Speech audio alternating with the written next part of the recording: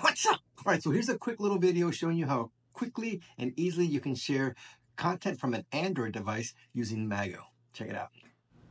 All right, so on your Android device, you want to go to your settings and you want to find Cast. And when you select Cast, then you want to select the room. This one I named it Mago Home Office, so I'm going to select it. I'm going to share a single app.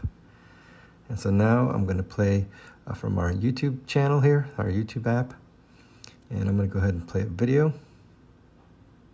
And you can see it's already sharing, it's super fast. And you can change the orientation so that you can have a better viewing experience. And when you're done, you can simply stop playing the video and then you go back to cast, going back to your settings, select cast, Mago Home Office, disconnect, and it'll go right back to the uh, home screen. There you go. If you want to learn more, reach out to us. All our contact information is going to be somewhere. And as always, if you like this type of content, follow me on LinkedIn and subscribe to our YouTube channel. Thanks.